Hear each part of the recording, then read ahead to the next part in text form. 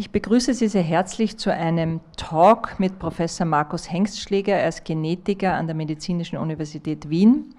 Sie haben auch ein neues Buch geschrieben, Herr Hengstschläger, äh, die Lösungsbegabung. Äh, Sie schreiben, das ist ein besonders wichtiges Talent. Äh, die Frage ist nur, wo lernt man das und wie hilfreich ist es in der jetzigen Pandemie? Also der Begriff Begabung steht eigentlich einmal nur für das Potenzial. Das heißt, jeder Mensch kommt mit bestimmten Potenzialen zur Welt. Die Lösungsbegabung ist eine, wo ich meine, über die wir jetzt diskutieren müssen, als zusätzliche, die es noch geben kann oder soll. Da gibt es genetische Komponenten, das heißt, jeder von uns kommt mit seinem gewissen genetischen Rüstzeug auf die Welt. Da gibt es sehr viel frühkindliche Prägung, aber all das ist es noch nicht. Es muss sozusagen entdeckt, entwickelt und immer wieder am Blühen gehalten werden. Ähm, Aber ist es ein Naturtalent? Das heißt, gibt es Leute, die sind einfach nicht lösungsbegabt und werden es nie werden, so wie man singen kann oder vielleicht nicht so toll? Ich, ich glaube genau eben, dass es solche gibt. Es gibt so etwas wie, dass der Mensch ist grundsätzlich vernunftbegabt, der Mensch ist grundsätzlich ein soziales Wesen und ich glaube auch, er ist grundsätzlich lösungsbegabt. Grundsätzlich heißt aber wieder einmal nur das Potenzial und dann durch harte Arbeit üben, üben muss man es draus machen. Ich strapaziere immer den Satz, dass ich sage, der Mensch ist auf seine Gene nicht reduzierbar. Gene sind maximal Bleistift und Papier, aber die Geschichte schreibt jeder selbst. Bei der Lösungsbegabung brauchen wir aber von Anfang an Hilfe, sie zu entwickeln. Und wenn ich vielleicht bei dem Ganzen, weil es gibt zwei große Komponenten, die auch im Buch diskutiert sind. Das eine ist, wie fängt man damit an, also bei den Kindern, aber das andere ist, wie hält man es dann ein Leben lang am Blühen? Weil irgendwann kann man ja mal sagen, es mag ja sein, ich bin lösungsbegabt, aber ich habe auch noch was anderes zu tun. Und das sind die zwei Komponenten, um die es mir geht. Bei dem, bei dem einen geht es mir darum, dass wir im Bildungs- und Ausbildungssystem natürlich Wissen transferieren müssen als gerichtete Information für vorhersehbare Anteile der Zukunft. Aber, aber wir brauchen auch jede Menge Komponenten, die Menschen empowern, also ihnen die Kraft geben, auch die Chance erhöhen, dass sie im Falle, dass etwas auftaucht, womit sie nicht gerechnet haben, eine Lösung generieren können. Und neben den sozusagen gerichteten Wissen und gerichteten Informationen, die man weitergibt, brauchen wir also ein ganzes Set an anderen Dingen, wie soziale Kompetenz, kritisches Denken, kreatives Denken, Kommunikation, Kollaboration, Ethik, Resilienz, viele, viele Themen. Und diese Themen in Summe von Anfang an als Eltern in der Schule etc. mitzuentwickeln, das bringt sozusagen die Wahrscheinlichkeit, dass Lösungsbegabung hochkommt. Jetzt haben wir eine Pandemie äh, einerseits erwartet, andererseits unerwartet, weil es haben ja ganz viele äh, Wissenschaftler, auch Bill Gates zum Beispiel, aber auch, auch hohe Militärs vorausgesagt, dass eine Pandemie kommen wird. Äh, wie lösungsbegabt war denn da eigentlich Politik und, und auch die Wissenschaft? Man hat den Eindruck, die Lösungsbegabung hat da ein bisschen geschwächelt und also schwächelt also, weiter. Ganz grundsätzlich schließe ich mich Ihrer Ansicht an, dass es ja eigentlich erstaunlich ist, dass das Wesen Homo sapiens, dass das mit weitem Abstand auf diesem Planeten vernunftbegabteste ist, auch das sozialste. Wir wissen aus äh, Untersuchungen, wo man zum Beispiel Schimpansen mit zweieinhalbjährigen Kindern verglichen hat, dass die auf mentaler Ebene sehr, sehr ähnlich funktionieren, aber dass so, gerade das Social Learning, das Soziale bei den Menschen sehr, sehr stark ausgeprägt ist und dass der Mensch grundsätzlich, wie ich halt jetzt in diesem Buch sage, lösungsbegabt ist, dass aber der Output, dass sich der Mensch da gar nicht selten selber im Weg steht und dass sie auf jeden Fall Luft nach oben ist, um einmal auch gleich meine Emotion da hineinzuhängen, warum ich überhaupt das Buch geschrieben habe, weil das ist ja eine der Begründungen.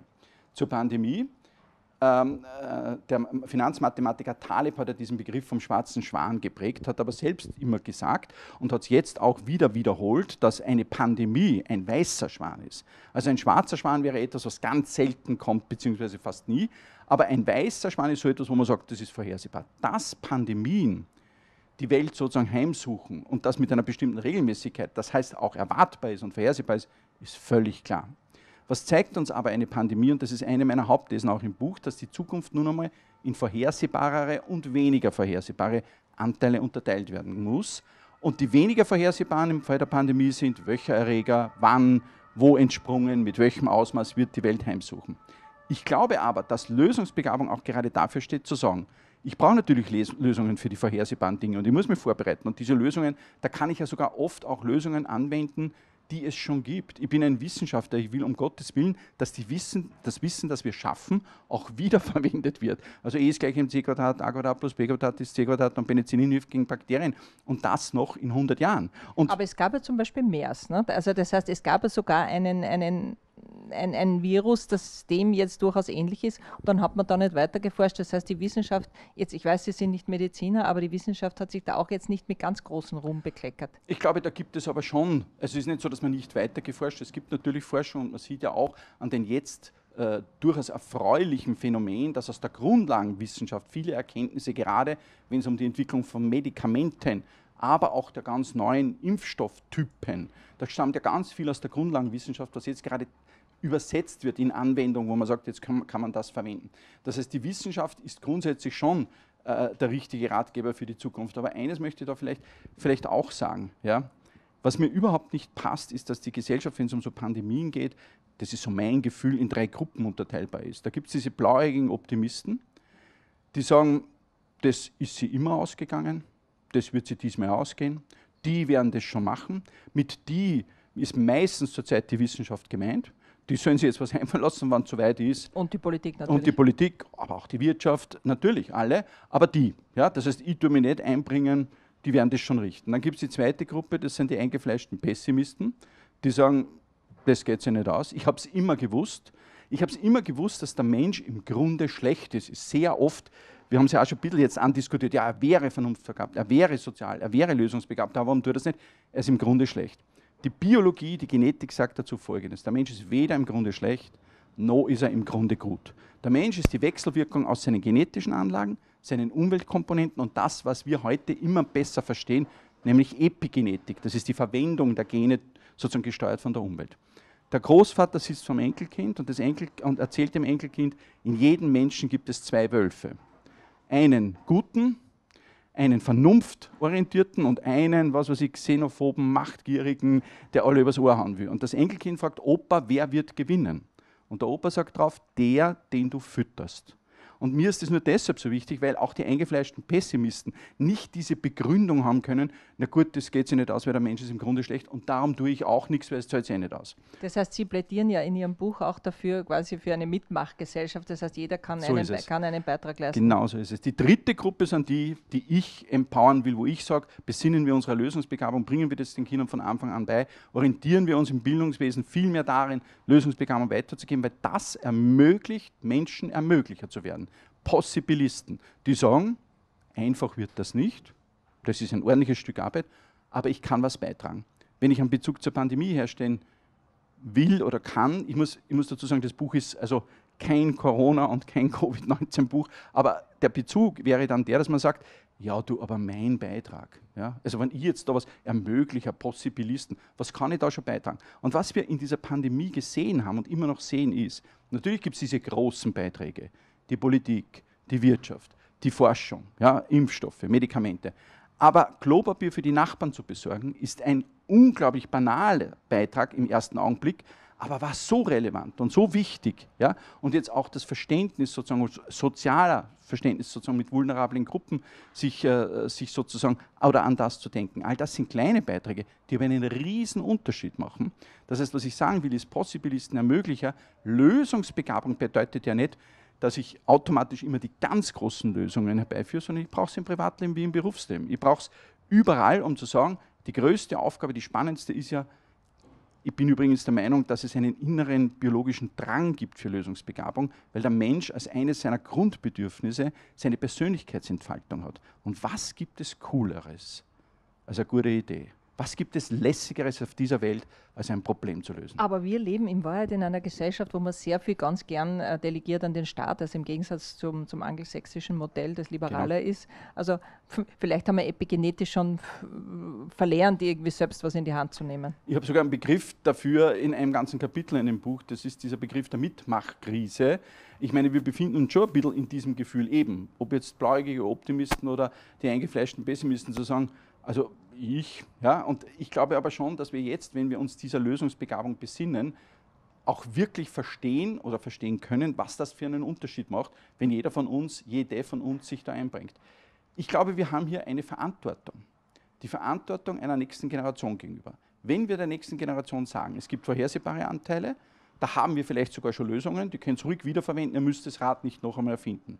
Aber auch gleichzeitig sagen, es gibt unvorhersehbare Anteile der Zukunft. Ich kann euch nicht immer sagen, was kommt, dann muss das innerste Bestreben sein, zu sagen, dann muss ich der nächsten Generation die höchstmögliche Wahrscheinlichkeit aber mitgeben, auch das entwickeln zu können, was das löst, nämlich die Lösungsbegabung.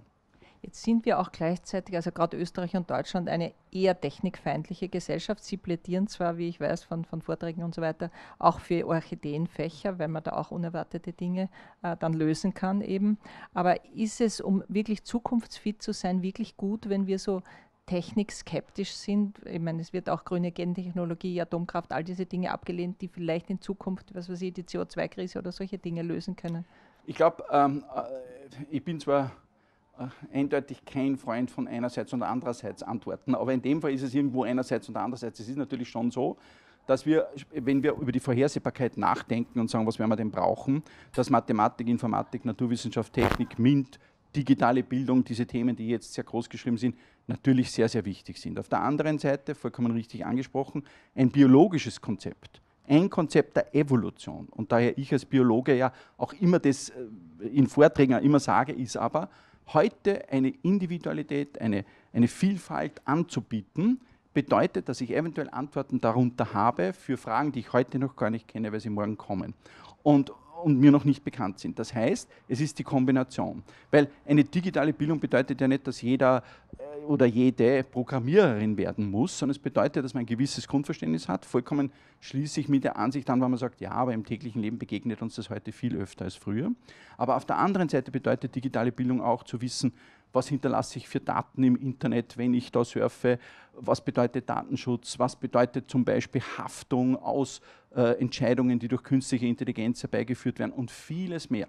Und erst die Kombination aus diesem technischen Teil und dem, ich sage jetzt einmal ganz zusammenfassend, geisteswissenschaftlichen Teil, mehr Geist und viel mehr, Kunst und so weiter, Erst diese Kombination macht den Menschen wirklich lösungsbegabt, nämlich die Technik ist einmal nur die Technik. Und was man damit macht, welche neuen Ideen, welche kreativen Ansätze, welches Neuland man damit betritt, das hängt wesentlich davon ab, ob man lösungsbegabt die Technik einsetzt. Weil man kann die Technik auch einsetzen mit einer niedrigen Lösungsbegabung, die nicht einmal blühen ist, dann wird man nichts anderes tun als das, was es schon gibt. Ich sage immer, die größte Verschwendung von Begabungen ist es ja eigentlich, etwas zu tun, was es eins zu eins so schon gibt. Es ist ja viel, viel wichtiger, dass man seine Begabungen dafür einsetzt, etwas zu tun, was es noch nicht gibt.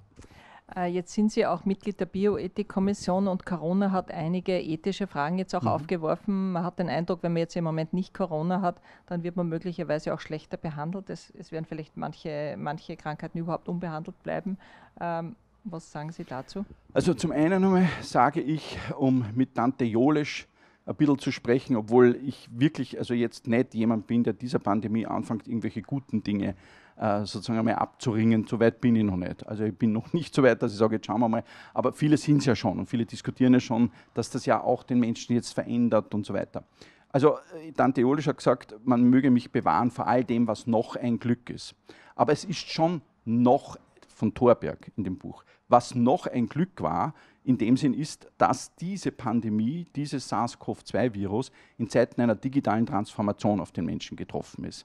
Denn man möge sich jetzt einmal vorstellen, was das wäre. Die sie sogar beschleunigt hat, muss man sagen. Muss man ganz klar sagen. Was wäre das jetzt gewesen, wenn wir nicht zoomen hätten können, um miteinander kommunizieren zu können? Was, was wäre das gewesen, wenn wir nicht all diese Algorithmen zur Verfügung hätten, um Voraussagen, Predictive Analytics zu machen, um Voraussagen zu machen über die Zukunft? Was wäre das alles gewesen, wenn wir all diese Kontakte und Informationen bis hin zum Bestellen von, von Produkten aus dem Internet und so weiter nicht gehabt hätten in Zeiten wie diesen?